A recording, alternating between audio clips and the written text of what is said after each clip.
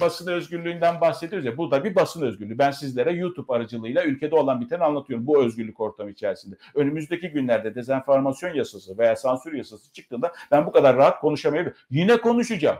Yine yani sayılarla, açıklamalarla ne gelirse gelsin başıma yani olsun. Yapacağım. Benim işim bu yani. Yapmak zorundayım. En azından birkaç kişiyi uyandırma servisi. Zırrrr, uyansın arkadaş millet. Uyandırmak için yapıyoruz zaten. Hem iktidar adına hem muhalefet adına yapıyoruz. Seçmen adına yapıyoruz. Bizler adına yapıyoruz.